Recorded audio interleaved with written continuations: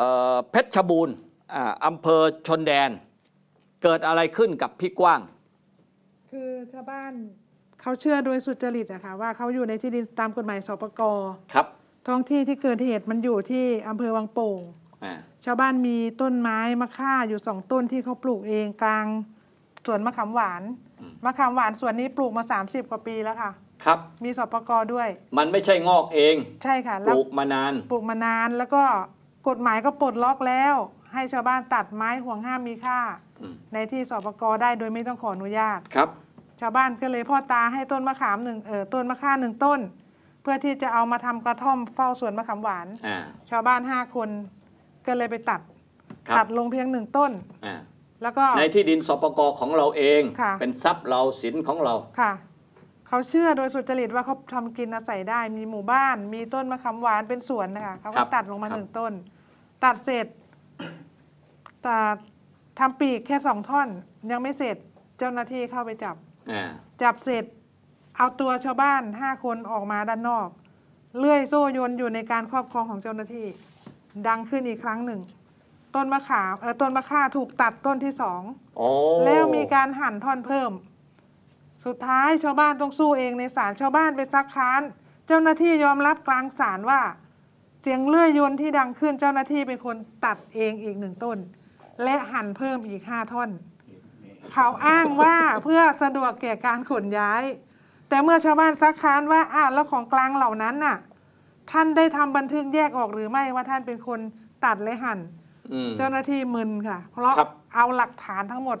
มากล่าวหาว่าชาวบ้านห้ารายเป็นคนทำแต่ในคำฟ้องบรรยายเสร็จสับว่าชาวบ้านเป็นคนทำอืมต่อมาคดีนี้มีการเลื่อนสืบ แล้วที่น่าตกใจคือพยานโจทย์หนีศาลค่ะ นัดหน้าศาลจะออกหพมายยานจับโจทย์ก็คือกลุ่มเจ้าหน้าที่แหละหนีศาลค่ะหนีศาลค่ะ ครับ เพราะชาวบ้านสู้ว่าเจ้าหน้าที่ทำพยานหลักฐานเท็จและฟ้องเท็จ เพื่อกลั่นแกล้งให้เขาต้องรับโทษในคดีอาญา อืม ไปยังศาลจังหวัดเพชรบูรณ์วันนี้นำเรื่องนี้มาเสนอให้ท่านผู้ชมได้คิดกันนะครับสำหรับชนชั้นกลางในเมืองอาจจะไม่เข้าใจปัญหาที่ดินทำกิน ให้ใช้หลักพื้นฐานง่าย ๆนะครับว่า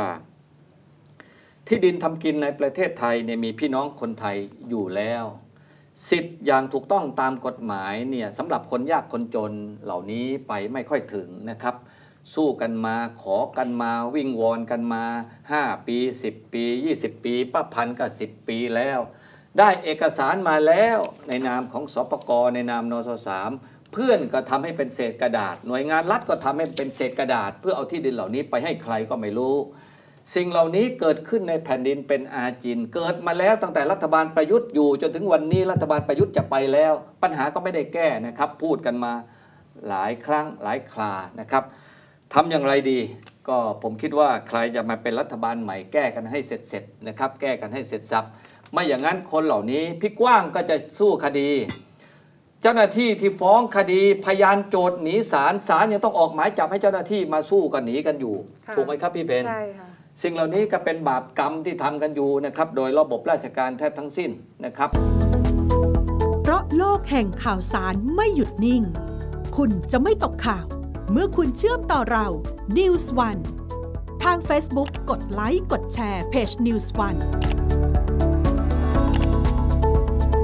ทาง YouTube กด Subscribe หรือกดกระดิ่งแจ้งเตือนทาง Channel News One เพียงเท่านี้คุณจะไม่พลาดทุกข่าวสารสำคัญ